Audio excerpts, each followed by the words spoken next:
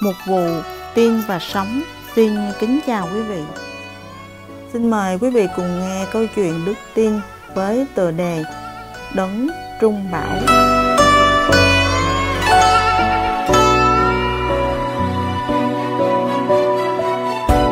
Dưới thời trị vì của nữ hoàng Victoria nước Anh, có một gia đình kia sống trong cảnh nghèo khổ và lo buồn.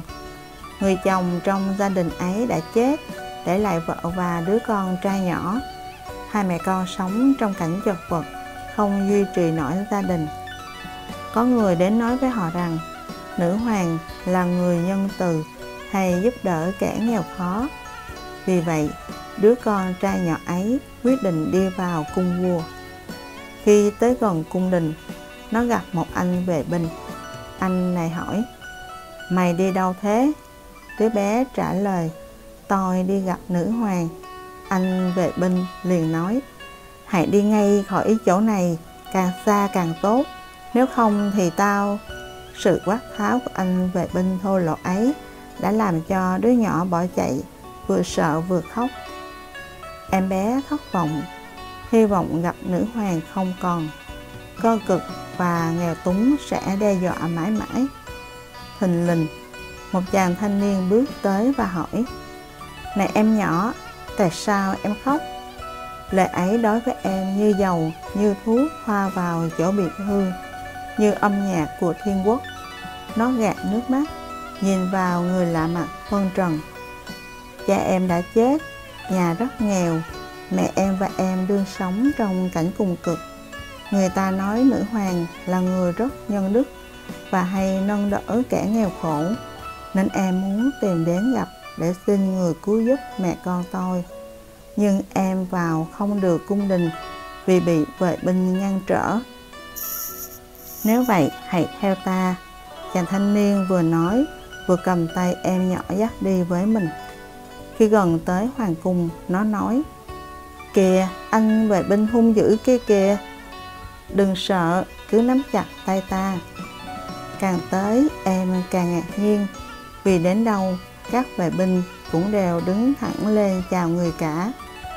Em ngước nhìn người lạ mặt mà không biết người là ai. Khi đã vào tới hoàng cung, chàng thanh niên dẫn em qua hết phòng này đến phòng khác. Cuối cùng thì đến phòng riêng của nữ hoàng. Chàng thanh niên nói, thưa mẹ, em nhỏ này có điều muốn ngỏ cùng mẹ thì ra, người đó là vương tử. Nữ hoàng như một người mẹ từ ái, niềm nở hỏi em rằng, Con ơi, con tên gì? Con có điều gì muốn thưa? Lời nói hiền từ của nữ hoàng đã khiến những sự sợ hãi trong lòng em tiêu tan. Em liền đem hết nỗi niềm tâm sự bày tỏ cho nữ hoàng với tất cả hoàn cảnh và nhu yếu của mẹ con em. Nữ hoàng lắng tai nghe ứa nước mắt rồi đứng dậy, ôm an vào lòng mà nói rằng, con sẽ nhận được cứu tế. Khi về đến nhà, hãy gửi lời chào thăm của ta đến mẹ con. Nguyện đức chúa trời ban phước cho mẹ con và con. Sau đó không lâu, sự cứu tế đến với gia đình ấy không phải chỉ đủ cho nhu cầu nhất thời mà còn đủ cho nhiều năm về sau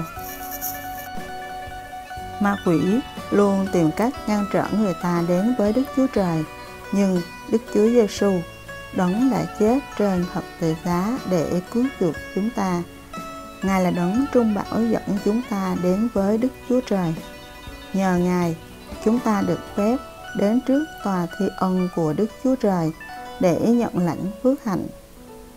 Hãy bắt chước em bé, đưa tay mình vào tay Chúa để Ngài dắt chúng ta đến trước mặt thiên phụ từ ái.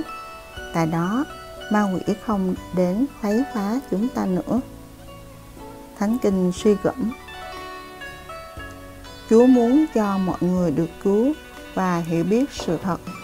Chỉ có một Đức Chúa Trời và một con đường dẫn nhân loại đến với Ngài mà thôi. Con đường ấy là Chúa Cứu Thế Giêsu.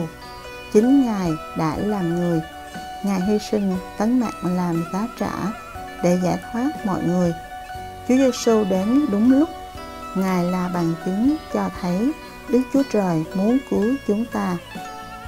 Timothy nhì, chương 2 từ câu 4 đến câu 6 bạn phổ thông. Chúa yêu thương bạn. Amen.